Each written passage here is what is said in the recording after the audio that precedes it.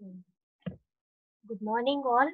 Uh, this is Dr. Smita Kanikar from uh, Dr. D.Y. Patil ACS College, Pimpri, Pune. I'm here to talk on uh, molecular cloning of DNA or RNA fragments in bacterial or eukaryotic systems. Now, cloning. What do you understand by cloning? The word clone means genetically identical. Whenever you say a clone, that means they are uh, genetically very much similar to each other. Okay, for example, the first clone we know all that the dolly sheep, it, it, she was exactly genetically similar to her mother. Right now, we are not going into the uh, details of uh, organ organism cloning, but we are talking or we are going to restrict our talk to the cloning gene. Now, gene fragments to be cloned. What does that mean? That means that uh, the genes or the DNA fragment or the RNA fragment that you are going to clone are exactly going to be similar. Okay, so that is cloning a gene or a DNA fragment. Now, when you talk about the gene or the DNA fragment cloning, what it could be? It could be anything, the wild type one, exactly the same as what you uh, find in the wild type organism, or you can take a mutated gene that mutation could be natural mutation or artificially what you intend to do the manipulations in the gene that it could be. So you can clone any any fragment of a dna and make the exact copies of that. By putting that dna fragment into a host and that host can replicate it inside it and make many copies of it right? So when you uh, do that the clone or the colony or the bacterial colony what you get uh, will have the same copy of the gene clone that uh, you have gene that you have cloned okay? Now each cell will be uh, depending on the recombinant molecule the vehicle that you have used or the vector that you have used for cloning will give you the number of copies in that clone okay? In that cell or in that host okay now, DNA, uh, we said that the DNA fragment could be specific. Now, what that specific means? It is the out of the whole of the genome, you are interested in something, right? You want to study that, you want to make that protein, whatever your intention is to make that clone, you will be uh, intentionally taking that part of the genome or the DNA and making a clone of it. Okay, and for doing this, what we use is a technology which is called as RDC or recombinant DNA technology, or you can name it as gene cloning or genetic engineering also. All the three are basically same. What we do here is we just take the DNA. The orange color is the DNA or the fragment of the DNA which are you interested in. Then what you do, you cut it with an uh, restriction endonuclease you select a plasmid, a vector or a vehicle into which you are going to put this DNA fragment. You put this, make a uh, insert or a construct, you call it as, because your plasmid has got the insert into it and then this you put into a host. That is the basic, uh, what you say, basics of cloning. And when you do that, the host in which you have put this is the uh, clone what you can see okay so the basics of cloning when you talk you say that there are there is a what you require. First you require the source of dna that is the dna in which you are interested in to be cloned okay? Then what you require? You require the vectors vector in which you are going to put your dna right? A vehicle or a carrier molecule then what you require to put this or to make this possible, putting your insert into a vector, you require some enzyme. That is your restriction enzyme. And then when put, when you have, you want to join this together, your insert to your vector, what you require? You require a DNA ligase enzyme. Ligase is an enzyme which joins two DNA molecules, right? And when you get this construct out of all this uh, processes. Then you want to put this recombinant plasmid or the vehicle into a host cell. Okay, now this host cell is your machine to make the copies of your clone gene, right? Now we'll go into details of every step. Now what is the source of DNA? Source of DNA, you can get it from the genomic DNA. You just take a bacterial cell, extract the genomic DNA and that can serve as the gene of your interest. You can do PCR or you can do a restriction endonuclease digestion and you can take out the parts that you are interested in from the genomic DNA. Then you have your cDNA. Now what is cDNA? cDNA is a complementary C, uh, DNA that will come into or will speak into details in the later stage of this talk. Okay, so remember at this point that you can use cDNA also as a source of your DNA. Then you can have, if you have some fossil and you want to know what DNA is and you want to clone that and you want to do number of studies on that DNA, then you can have your PCR um, as a tool to amplify that DNA and then that DNA can be cloned into host to study um, in detail. Then you have another, the last point that is the synthetic DNA. You can artificially synthesize DNA chemically in the lab using just additions of nucleotides and creating a chemical reaction. Okay. Now, next point is your vector. Vector, what we said, it is a carrier molecule. It carries the DNA or you can say a vehicle which carries the DNA from one organism to the host cell okay you cannot just put the dna inside the cell because it has to be what we intend we intend to uh, amplify that dna so that dna has to be amplified. Only the dna when you put the in, gene of your interest.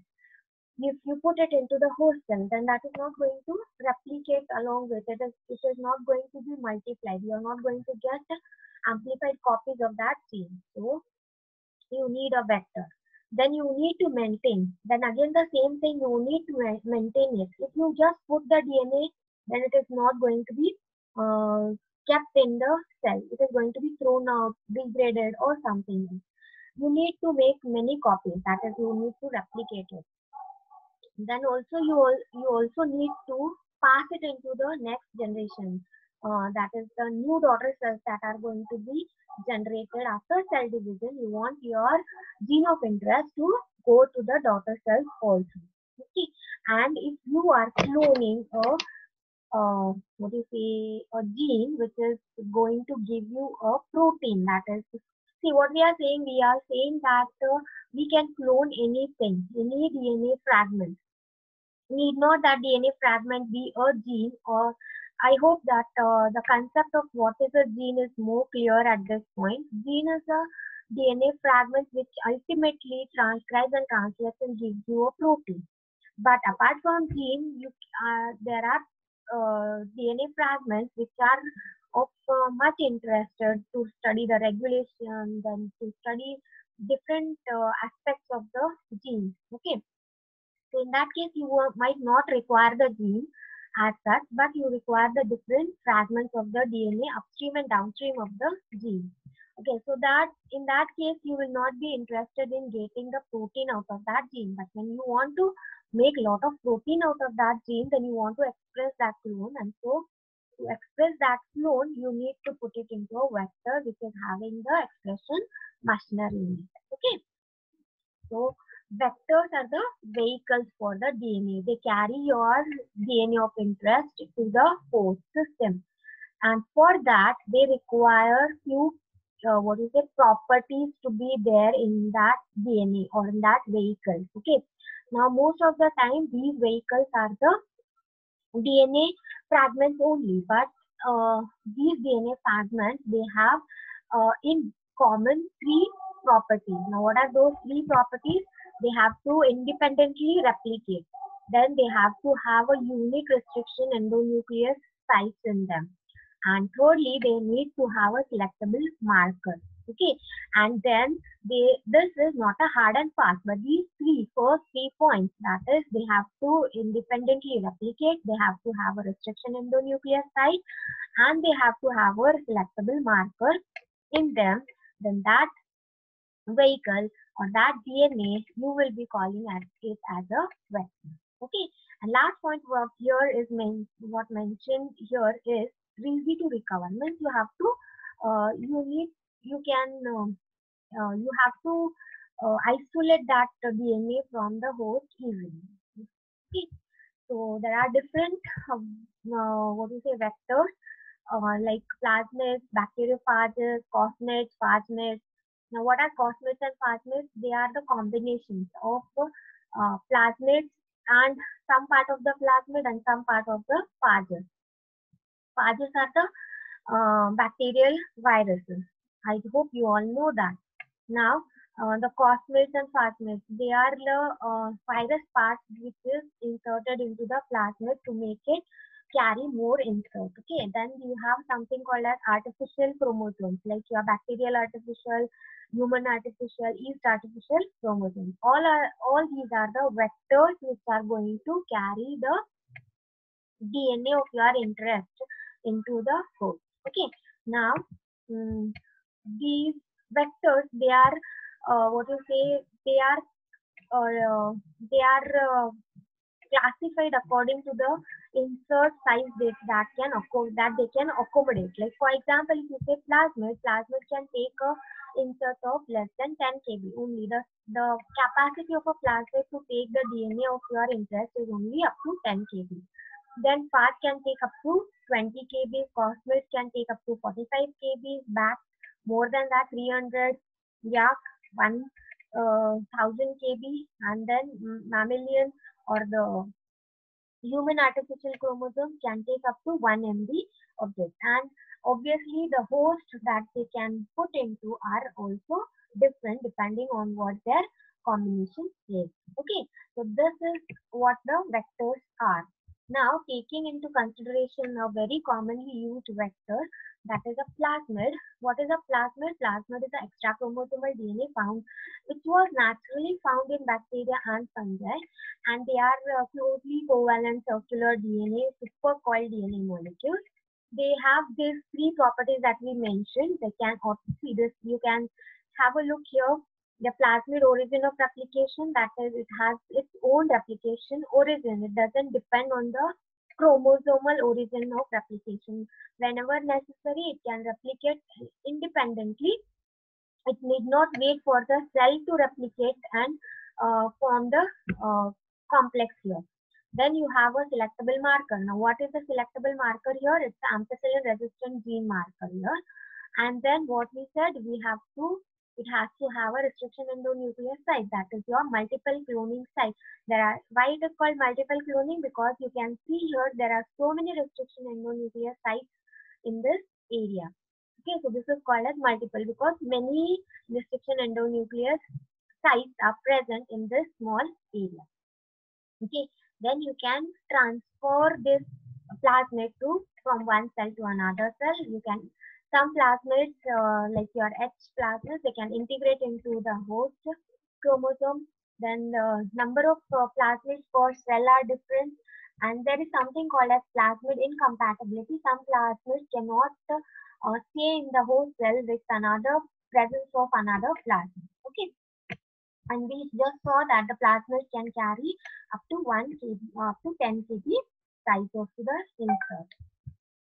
Then plasmids are naturally occurring. So this is the same thing, same picture with uh, ampicillin resistant, origin of marking, ma replication and multiple cloning sites. So these, this, that's all about the vector, that is the plasmid vector, which we are, will be looking to uh, in the further transformation process. Now restriction enzymes. Why are they called restriction enzymes? Restriction enzymes are called, they are also called as RE or the restriction endonucleases. Now endonuclease means a nucleus which can cut inside, nucleus which can cut the DNA. An enzyme which can cut inside the DNA is called as endonuclease. And why it is called restriction? Because it has a restricted site or specific site where it can go and cut the, it has very specific city for that or it has a, what do you say? It cannot cut anywhere else but it has to have that site for this uh, cleavage activity. And that is why they are called as restriction endonucleases. They are very specific. Okay now there are three types of restriction endonuclease type 1 type 2 and type 3 and depending on uh, the site of their action or uh, cut the recognition site. See, they are restriction endonucleases, but the uh, what you say the cut where they give uh, is different. Now, type 1, they can cut from the restriction site, they can cut around 1000 base pair anywhere. But type 2, they are very, very specific and that they are most common ones and uh, they can, they uh, only cut at the restriction site. Okay, they don't go uh, in and around the restriction site. And type 3, it is a rare one and is, you can cut randomly away uh, 26 to 24 base pair away from the restriction site. Okay, so that is about the restriction endonucleases. And these are also what uh, one more thing they are four base cutters. That means their restriction site is four base six base means, means they have uh, six uh, nucleotide uh, restriction site and eight cutters okay eight base cutter is this a bigger one uh, restriction site now, when we say that uh, these restriction endonucleases, they cut the DNA means they are going to generate ends. Now, these ends can be of two types. What are those? They are blunt ends and sticky ends. What are blunt ends means? Blunt end is where you uh, commonly know what is blunt. There is no, uh, what you say, anything here and there. That is your blunt end. But what is a sticky end? Sticky end is something called which has a cohesive end or a overhang. Now, what is overhang? Overhang means you don't have anything complementary below that DNA sequence. That is, now here you can see this is the red and blue are the restriction sites and if the restriction enzyme gives a cut here and here and here and here, what has happened here is that the GATC doesn't have anything below, below it. No complementary DNA is below it. It has passed here due to the uh, cutting of the endonucleus activity. Now that is called as your cohesive end or a sticky end. Now that is the importance and they are very much uh, you know, easier to ligate. Okay, so um, they are also preferred endonucleases that are used in the cloning protocol. This is the example that is your EcoR1 gives you sticky ends and ALU1 gives you blunt end, um, stick, uh, blunt end and when they cut. Okay, BAMH1, BGL2, TAU3, these are the enzymes that are cut. Now, next is DNA modifying enzymes. Now, uh, these enzymes are not a very must in the uh, cloning process, but what we can see that using these enzymes can increase your efficiency in of cloning or the transformant numbers with the insert is increased by using these enzymes. They are not very mandatory to be used, but without this also you can um, perform your cloning experiment. But using them can increase the efficiency. What are those? Uh, there are many, but uh, to list a few, we can just say that alkaline phosphatase, polynucleotide kinase, and terminal of deoxy nucleotidyl transferase. What these enzymes actually do to the DNA. Now, alkaline phosphatase, you, as the name suggests, the and it's an enzyme which is going to remove your phosphate group. Now, why is that necessary? When uh, you cut your DNA of uh, interest, that is your gene that you have generated, that gene insert, you want to cut it with a restriction endonuclease and the same endonuclease you will be using to cut your vector right? Now when this vector is also cut with the same enzyme the aim of your experiment is to ligate your insert to your vector. Now who does that? The ligase enzyme will do that. Now this ligase enzyme requires a phosphate group at the 5 prime end and a 3 prime OH group and it will not uh, differentiate between the insert uh, 5 prime and the vector 5 prime. It will just look at the 5 prime phosphate and 3 prime OH and it will ligate. So the chances of your vector which is cut by your RE to get it again ligated by the ligase enzyme increases if you don't remove the phosphate molecule. Okay. Now polynucleotide kinase, what it does, there are uh, PCR primers sometimes where non-phosphorylated primers are used and in that case you need again to ligation we said that phosphate group is required. So you have to add a phosphate group to the 5' end and that work is done by a polynucleotide kinase enzyme. Okay, and then the terminal deoxynucleotide transferase. Now this, what it, it does, uh, sometimes you require to add nucleotides to the end of the DNA molecule and that is done by this enzyme and the specialty of this enzyme is that it does not require a template uh, molecule to add the nucleotides. You know that RNA polymerase or DNA polymerase, they, there is a mandatory requirement of a template to add the nucleotides. So, the exactly uh, complementary nucleotides are added by these enzymes. But here your DNA um, transferase enzyme does not require any template. Okay. Now this alkaline phosphatase, what I require, I meant to uh, tell you here is these phosphate groups, they are removed by your alkaline phosphatase. And when these phosphate groups are removed, what is happening? Your DNA ligase is not finding any phosphate group to ligate these two ends. Otherwise, if these are there, then the DNA ligase will again rejoin this cut uh, vector. So to avoid that and only the ligation between your insert and your vector should happen. That is the basic aim of uh, inserting your uh, gene of interest into your vector. That is the basic step that we want to do. So when you want to do that and you want to ensure this ligation and not the ligation of the vector itself, that is called as self-ligation. You don't want that to happen. You want uh, the strategy you can use here, you can use remove the phosphate group from the vector and that is done by your enzyme alkaline phosphatase. And once it is removed, only this phosphate is, is remaining for the ligase enzyme to ligate your OHN phosphate. Okay. So to avoid uh, self-ligation of the vector, you use alkaline phosphatase. Then you have you can modify by uh, your DNA by putting linkers and adapters. Now, what are linkers and adapters? Suppose uh, you have uh, chosen a vector and that vector is very uh, fine and uh, from all the aspects that you want to, uh, you are aiming at doing the cloning.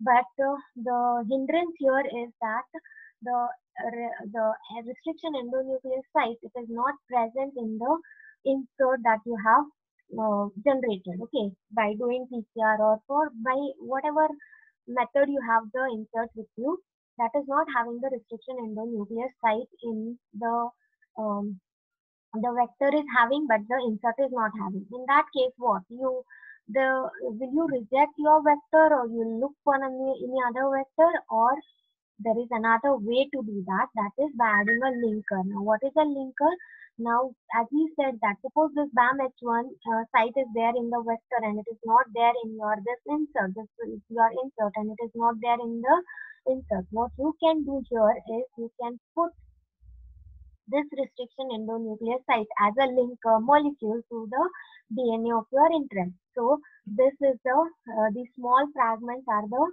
this uh, what you say uh, restriction endonuclease site. And you can add it by doing the DNA ligase ligation. And these sites are getting attached to the DNA of your interest. And then you cleave that with the BAM-H1 site and you will get a sticky end generated which is easy to go and join to your vector. Okay, so in case where your vector has a restriction endonuclease site but your insert doesn't have, you can add a linker of that restriction endonuclease site. Okay, now adapters, they are similar to that, but what you do, you don't add the restriction endonuclease site to your DNA, but you just add the generated whatever the restriction endonuclease site is going to generate after cleavage that you will be going to just add it why do you have to do this and when you will be doing uh, when will you choose linkers and when will you choose adapters now suppose that you have the site with you. Okay. Now, so, for example, this BAM-H1 site, it is there in your restriction endonuclear, uh, it is there in your insert, but it is there inside the insert. That means if you use to cut your your insert with BAM-H1, what will happen? Your insert is going to cut into two pieces. You are not interested in doing that. So, but finally, what you are interested, you want a restriction endonuclease uh, sticky end generated at the both ends for BAM-H1, right? So what you can do, you can add the uh, that site itself. Okay, this overhang only you will be adding to the ends that are your adapters. Okay, so no need to cut your DNA, interested DNA with your BAM-H1, but what you have done, you have added a ready-made sticky end generated by BAM-H1 to the ends of your DNA. So you will not give a RE treatment to your DNA of interest, but only it will be to your vector and then finally you can ligate your vector. Okay, so that is about your linkers and adapters. Okay, linkers are added uh, with the restriction endonucleosides and adapters they are added with only the sticky end part and no restriction endonucleosides. Okay. Last uh, enzyme that is used in cloning is DNA ligase. DNA ligase is an enzyme which ligates the 5' phosphate and a 3' phosphate, uh, 3' prime OH group. Now this 3' prime OH group and phosphate group, they are any from any source is ligated by this ligase enzyme. Now finally when you do the construct, you have your gene of interest, you did, uh, did anything you did RE, you did whatever from the genomic source, you took the gene of interest, you have the gene of interest with you, you had your vector with you, you did uh, restriction endonuclease, digestion for both your interest and your vector, and then what you did, you ligated your insert uh, to your vector and you have a recombinant construct with you. Now this recombinant construct has to be put into a host now this host which is which can be anything. Now that anything is it can be a bacteria, it can be a yeast, it can be plant cell or it can be mammalian cells. Okay, so depending on to the end result, what you want, you want uh, uh, eukaryotic host, uh, you want a eukaryotic gene to be cloned, then you will mostly use a eukaryotic host you want um, humanized uh, gene, uh, then you will use a human or a mammalian cell. So depending on to the end use of the cloned gene, you will be selecting the host. Okay, and depending on that, uh, on the vector also, you will be selecting accordingly. Now, the methods to put your the recombinant construct. After choosing a host, you have the construct with ready with you, the recombinant construct and you want to put that construct into the host. Now, what is the host? Suppose we have chosen bacteria as our host. Now, you want to put that construct into host, that is your bacteria. What are the different methods? You have transformation, you have electroporation, you have protoplast fusion. Protoplasts are uh, the cells where your cell wall is removed. You can just fuse them with the DNA. Then you can directly micro-inject the DNA construct or you can use a gene gun. So there are different methods by of putting your DNA construct into a host cell. Out of that, we'll be looking at transformation. The transformation is a natural process in which the bacterial cells are uh, taking uptaking the DNA from the environment. But this we can do or we can make the DNA uh, to be taken up by the bacterial cells by making them competent. Okay, now making the cells competent uh, process is to make or to increase the cell wall permeability of the bacterial cells. And for that, what we require is we give a calcium chloride treatment to the cells. Now, this is your normal bacterium. If you treat it with a calcium chloride, what happens to the cell is the cell permeability increases and when you uh, uh, when you add your plasmid construct or your vector construct to this competent, it becomes after calcium chloride, the cell permeability increases and this increased uh, permeability cell is now called as a competent cell. Okay, now this competent cell, if you give the plasmid to it, the plasmid comes and binds to or it uh, comes to sits on the cell wall and if you give a heat shock, the cell, uh, the plasmid is pushed into the uh, into the cell by the increased permeability. Okay, so that is what is called as a chemical transformation by using a chemical that is calcium fluoride. Now this is uh, a pictorial uh, what is a flow chart.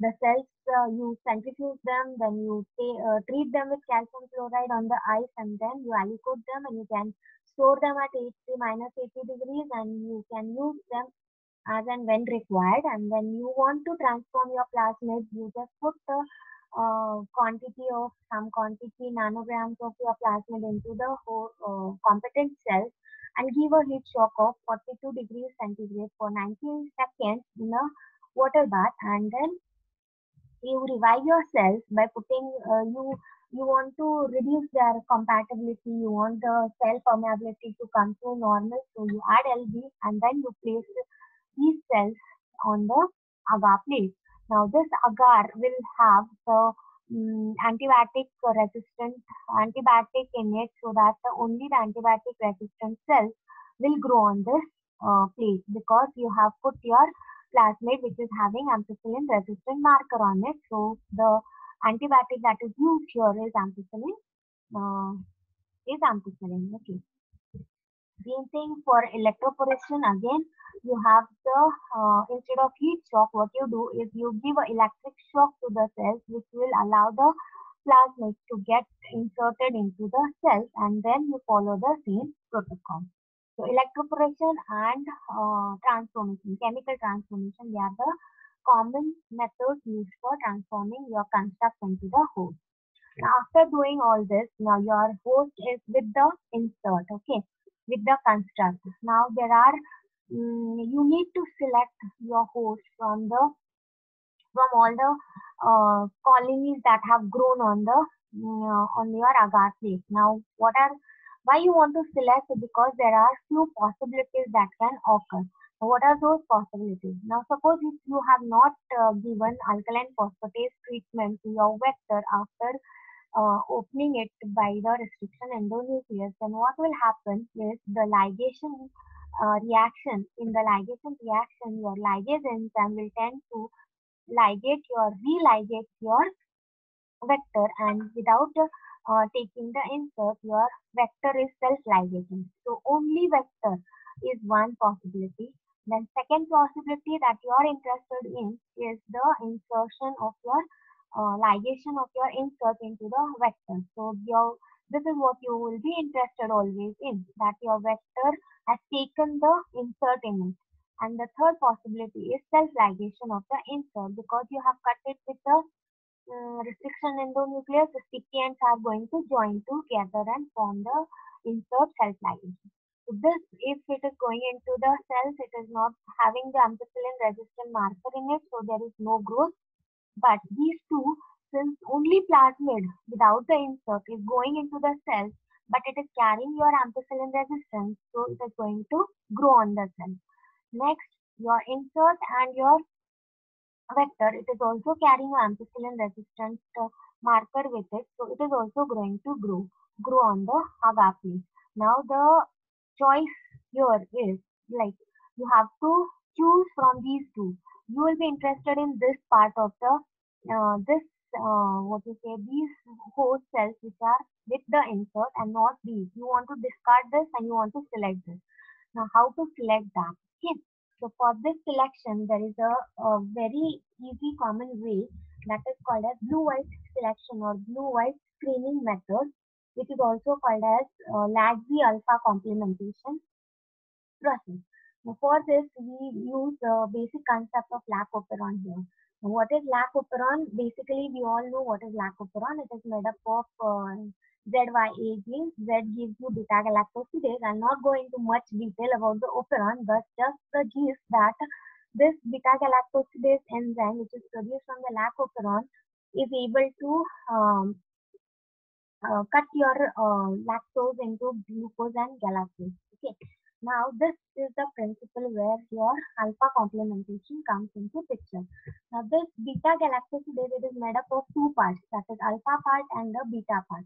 Now alpha part and beta part, if they both are there present in the beta galactosidase, then only a beta galactosidase is uh, functional. Otherwise, it is non-functional. It is not able to break down your lactose into glucose and galactose. Now, the mutant they uh, have generated E. coli mutants where your alpha part is deleted from the E. coli chromosomal lac operon. Okay, what here? Listen carefully that your alpha fragment part of the chromosomal operon has been removed. That is your Z gene is devoid of your alpha fragment. Okay, now this alpha fragment has been put onto a vector that is a plasmid. Okay, so what will happen?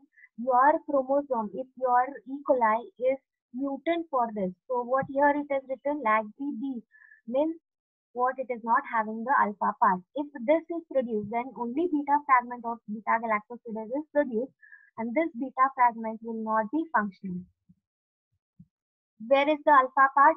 It is on the vector region, on the plasmid.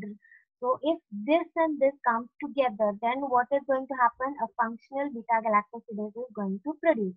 And when can this happen? When you will be putting this plasmid into this mutant E. coli.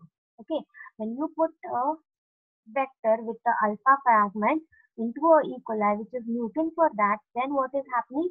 This alpha fragment is going to complement your beta fragment and then create a uh, what you say functional beta galactosidase. This is the basic principle of uh, LAGZ operon or LAGZ blue-white screening. Okay, so here uh, it is in that the alpha fragment is 146 amino acids and it is put on the plasmid and that plasmid if you put into the mutant host which is having only beta fragment then what will happen it will complement and that is why it is called as beta alpha complementation. Okay.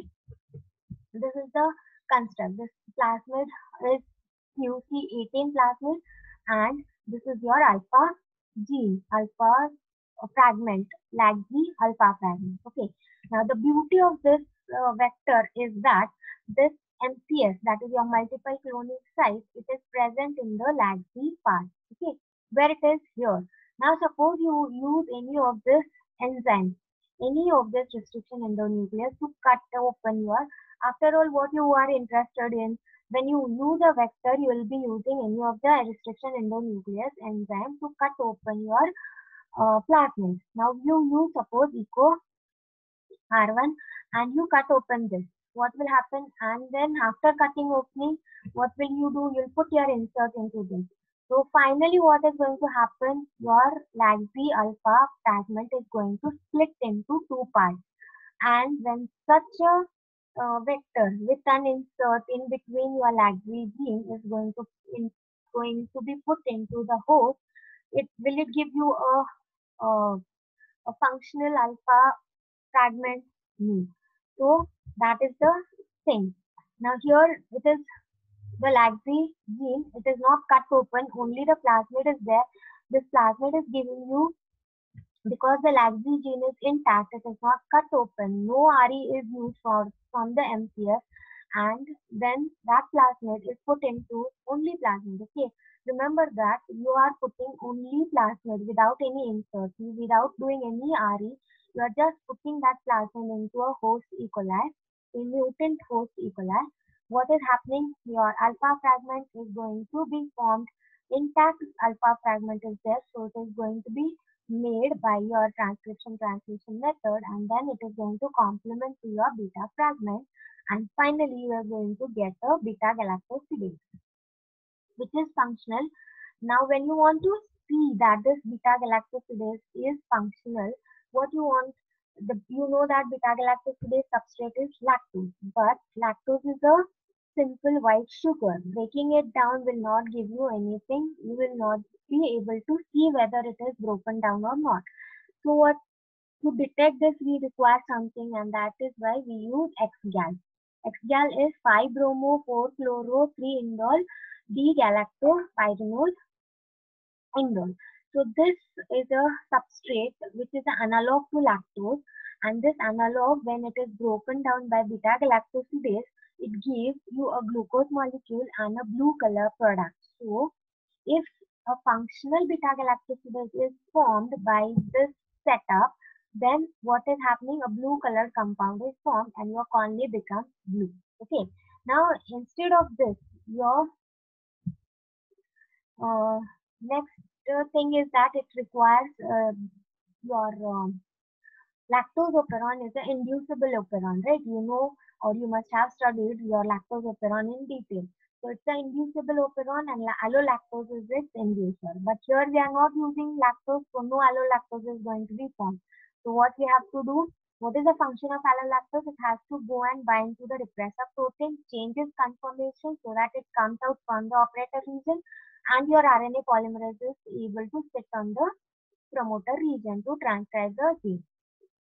Same way, here you can use analog for your allolactose and this is called your IPTG uh, inducer which can come and bind to your repressor protein. Okay, and thus you get a functional uh, beta galactosidase formation when there is no insert in your when your flag G in the PUC 18 is intact. Okay, now, exactly opposite to this, what will happen? You have put the insert in, you have break, broken it open, you have put your insert, this orange color is your insert, which has split your Lagrange alpha fragment into two. So, what has happened?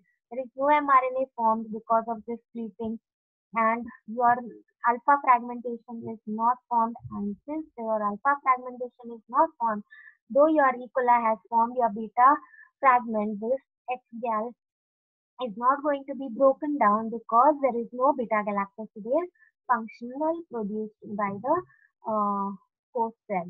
Okay, and when is this all possible? See, you have the alpha gene with you, which can complement, but what has happened here? It has been split or it has been divided into two parts because you have put your insert here. And why you have put this insert here? Because your MCS is in the LAGG alpha part. That is why this is the principle of your blue-white screening. So any plasmid, your any PUC 18 or PUC 19, which is having the alpha complementation, will uh, with an insert will never form a functional beta galactosidase, and that is why you will never get a blue color compound formed, and that is why your E. coli cells will give you white color colonies. Right, so that is what is called as a blue-white screening means see you can see here the pic of a transformation plate which is made up of X-gal, ampicillin, agar um, and uh, uh, urea butane agar. And what you can see here, you can see some blue colonies and white colonies. And why this blue colonies? Because you have not given al alkaline phosphatase treatment. So the um, what you say? So the plasmid has got self-ligated and then there you have got the intact alpha complementation and formation of blue color uh, product and that is why you got this but there are white color colonies which will tell you that since it has grown on the ampicillin what you are sure that the plasmid has come into it now what you have to select whether this colony or this colony is with insert or without insert. Now when you see it is a blue colony what you can say that your insert has not come into this because your MCS, MCS was in the lag B and it has not disrupted your lag B and that is why you have got a functional alpha uh, complementation and beta galactosidase which will break your X-gal and give you a blue color colony. So the white colony will be your uh, choice of selection because it will have the insert. Okay.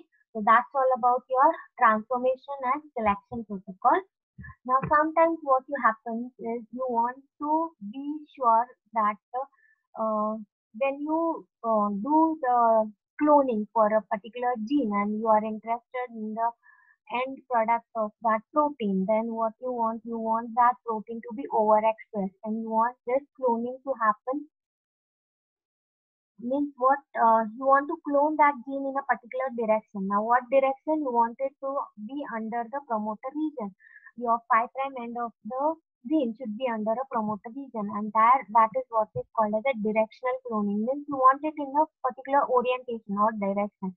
And for that, what you can do is you can use two different enzymes to cut open your um, your in, uh, your vector and your insert and that is wh where you can get different sticky ends generated which will ensure that your insert goes in a very particular direction. In the direction that you are interested in your promoter region will have the 5 prime end of your uh, of your insert so that is what is called as your directional cloning. Now the last point is your cDNA cloning. Now why when and where will you look for the cDNA cloning? cDNA as i said you in the second slide that cDNA is exact or a complementary DNA. Because it is a complementary to your mRNA. Now, why you require a complementary DNA? Why can't you just clone your mRNA? Suppose uh, mRNA, the, the fact is that mRNA is short-lived. The half-life of mRNA is very less and it is um, difficult to clone a RNA in the DNA vector. And that is what we go for a cDNA. Second uh, important point here is alternative splicing. You must have all heard about alternative splicing. Means what if a gene has three exons, there is a combination of exons which is formed to form different proteins. That is exon 1 and exon 2 form one protein, exon 1 and 3 will form one protein, 2 and 3 will form one protein. This is where you can justify the concept of one gene many proteins right? So that is your alternative splicing. Now when you clone a gene which is containing uh, eukaryotic gene obviously so you clone a gene and you are interested in suppose protein B which is uh, made up of exon 2 and 3 but when you clone the whole of the gene that is 1 2 and 3 then what will happen? Uh, ultimately you will not be sure that it will give you the protein which is made up of exon 2 and 3 only.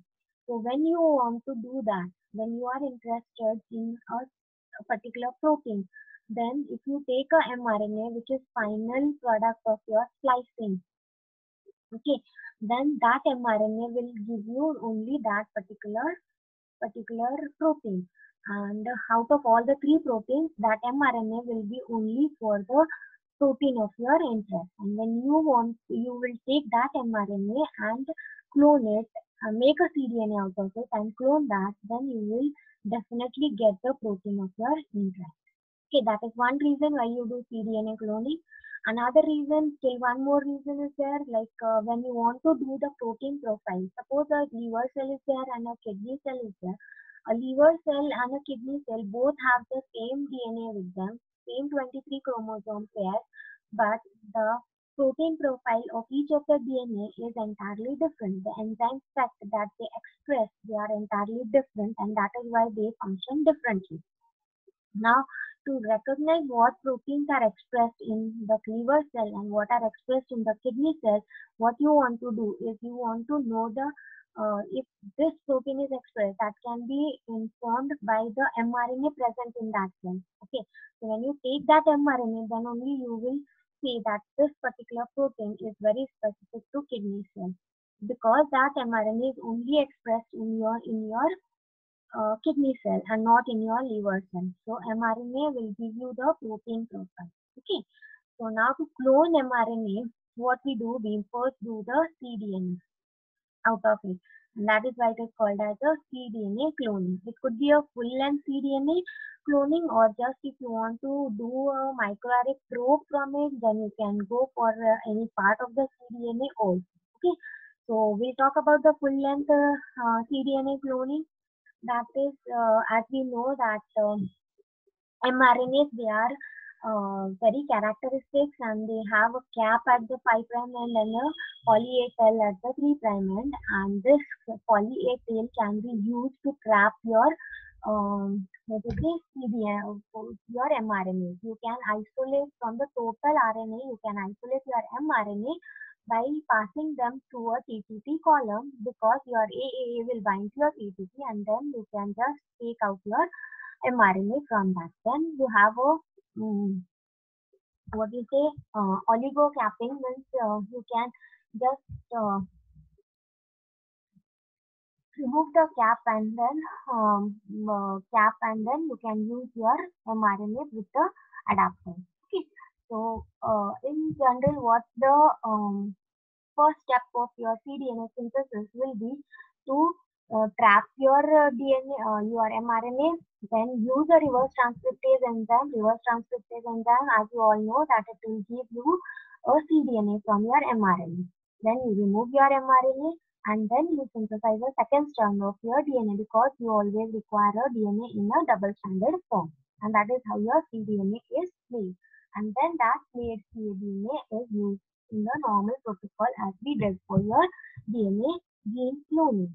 Okay, this is your mRNA. You have a TTT and you got it separated. Then you do a, a reverse transcriptase uh, enzyme treatment, which will give you a cDNA, and then alkali treatment will degrade your RNA.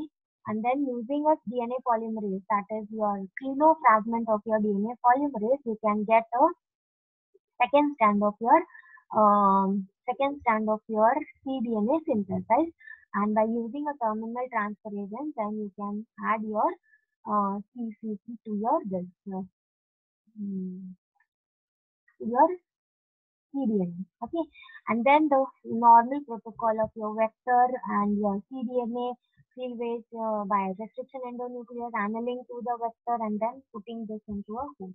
Okay. So it's uh, the only point here you have to do is first you in your normal DNA cloning you start with the DNA. In your cDNA cloning you start with the mRNA. You isolate your mRNA from the total M, total RNA and then that mRNA you make a cDNA out of it using a reverse transcriptase enzyme and a DNA polymerase clinofragment and then that double-stranded cDNA you use in the normal cloning protocol. Okay, and put it into the host. So the overall cloning, uh, what you can say, you design your gene, first do all the bioinformatics of the gene, how long is your gene, uh, what are what are the requirements that you will be looking for, all the bioinformatics. Okay, so all the history and geography of your gene will be given by your bioinformatics. Then you design your insert, means you want to, what all you want to do with your insert, whether you want to add a linker, add a polymer um, uh, adapter, what you want to do with your insert to make it very uh, efficient for cloning. Then you pick your enzymes, you pick your vectors. Um, vectors and hosts should be complementary. They should be compatible to each other. And depending on what uh, size you will be uh, vector choice, there are many uh, criteria where you will be choosing your vector, the restriction endonucleases, the size of the insert, then the ultimate aim, what it is you want to clone the, the DNA fragment for, whether you, whether you want it to be a protein expressed, then you have to have a expression vector, and then the host, depending on the vector that you have used and the ultimate goal that you want to do with your cloning product, you will be choosing your vector. Then finally you check whether your cloning experiment has uh, turned out to be success or then you want to recheck it again and by doing the screening protocols and doing the assays for your protein if you are interested in protein uh, of your clone gene. So thank you and if you have any questions uh, you can just uh, mail me I can answer your questions.